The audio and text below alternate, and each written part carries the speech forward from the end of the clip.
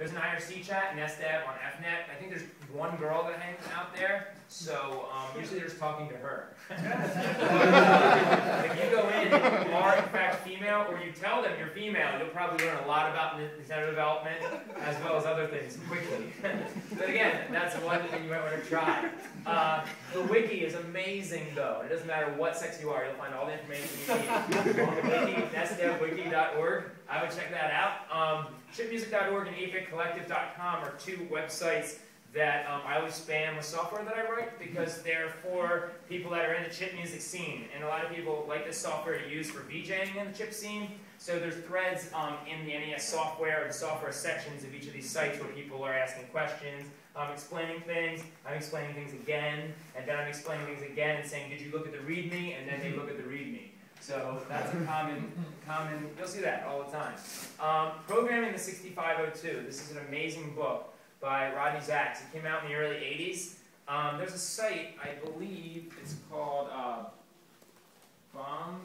Jack, And um, he has an archive of... Um, Jack. Yeah, I guess this is it. Yeah, I hope this is it at the top. Yeah, books. Oh man, this site is so awesome. I could just browse. Could, this could have been my talk, just going to the site and showing things. Um, assembly language. I have to show you the cover of this Rodnay Zaks book because it's like almost like it's amazing. Hold on, where where is it? Uh, but this is a great book. You can buy it on Amazon for really cheap. Um, but all of these books are actually really good about assembly language. And of course, it doesn't have the title here, so you have to just scroll for it. There's like a flying microchip on the cover. and the insides are all x-rayed. Damn it. All right, well, here, I promise. The Rodnay Zaks book. You can just look for the title.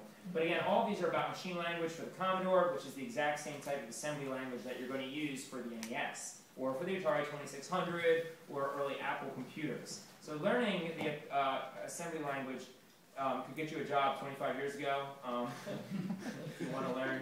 Uh, but right now, it can definitely get you into hacking into a lot of older systems.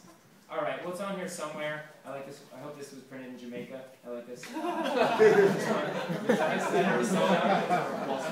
yeah, that's great. All right. Um, anyway, the Bomb Jack site is awesome. These are all PDFs.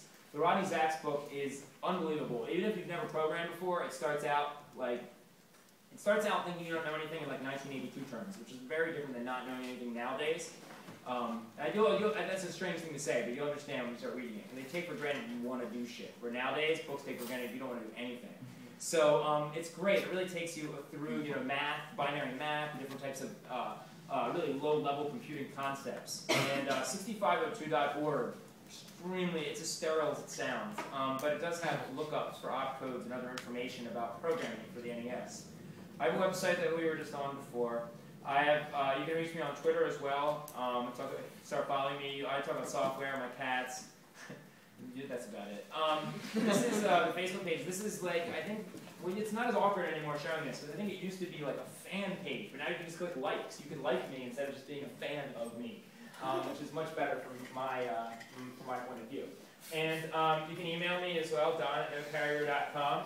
So please take a look at the software if it interests you. Um, and uh, I, I, I, try to make it as easy to edit as possible to give you results very quickly. And if you do like doing live performance and you want something else um, besides just, um, uh, you know, uh, some, some modern computing uh, applications for glitching, uh, this is probably a good uh, tool to use. And Vade, who's just speaking, is working on something called OpenEMU. Can you talk about that a little? Because this, or do you want to? Want me, to, want me to say what I know about it? You can just start shaking your head in line. sure. All right. So um, OpenEMU is something that um, Vade and a couple other people developed, and it works with Quartz Composer, and it allows you to run emulators like Nestopia in Quartz Composer and um, do things to them with Quartz Composer. I'm trying to be vague here so don't screw up. And uh, one thing you can do is load um, load GlitchNES into it. So this is like layers of meta glitching at, at work here in Quartz Composer, but um, if you like that environment, if you're interested in what uh, Vade was just talking about, take a look at OpenEMU, you can load GlitchNES in there. I think it comes, at least it used to, to come with the uh, execute, I mean the ROM of GlitchNES as well. So again, you can use this in emulators. You can use it on hardware, um, and get in touch if you need anything. Thank you very much.